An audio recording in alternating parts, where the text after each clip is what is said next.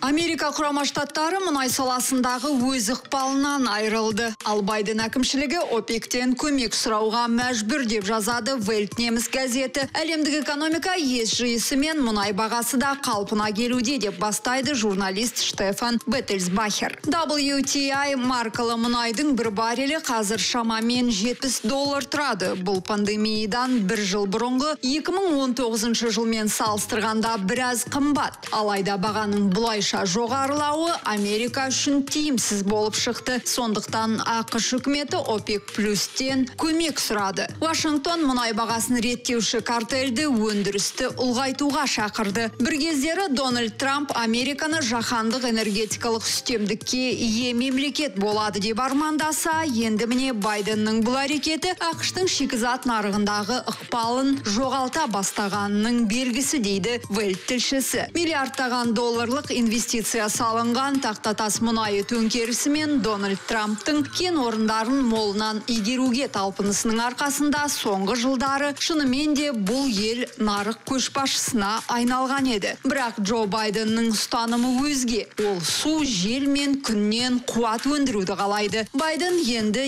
ешкім бұрғылау қондырғыларына инвестиция салғысы келмейтіндей жағдай жасады. Салдарынан Америкаға өзінің мұнайға деген сұранысын қанағаттандыру қиынға соғуда. Қазба отындары көптеген ондаған жылдар бойы негізгі энергия көзі болып қала береді деп жазады журналист. Ал Байден әкімшілігінің мұнай мен газды күрделендіру саясаты ақш экономикасына үлкен қауіп төндіреді деп қорытындылайды Вельт.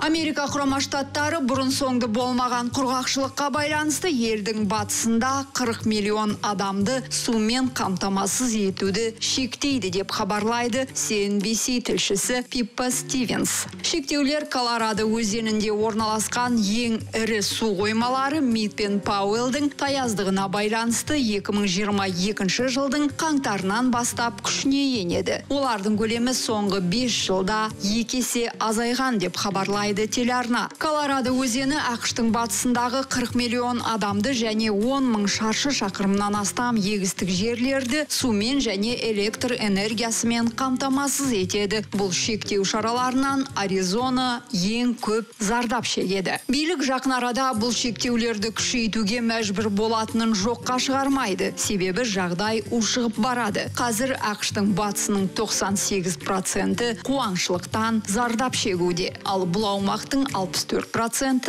апатты құрғақшылық жағдайында. Егер бұл келесі жылы да жалғасса, онда Калифорнияда су шектеулеріне тап болады. Сонымен қатар су деңгейінің төмендеуіне байланысты Колорадо өзеніндегі гидроэлектростанциялардың тоқтап қалу қаупі де жоғары. Ішкі істер министрінің су ресурстары және ғылым жөніндегі көмекшісі Таня Трухилио бұл жағдайды климаттың өзгеруінің салдары деп сипаттады бейне ойындар артық салмақтан арылуға көмектеседі. Жуырда аяқталған жаңа зерттеу нәтижесі осыны дәлелдепті. Бейне ойындар көбінесе жалқаудың ермегі саналады. Бірақ белгілі болғандай екі сағаттық сессия барысында ерлер 420 калория шығындаса әйел геймерлер 472 калорияға дейін жоғалтады екен. Сонымен 57 минутта ойыншы бір дана шоколадқа тең калорияны жаққан ал бір сағат 4 минут минутқа созылған ойын кезінде жұмсалған қуат шығыны бір гамбургердің тағамдық құндылығына тең болыпты. Елу минутта маргарита пиццасының орташа тіліміне пара пар калория жұмсауға болады делінген мақалада.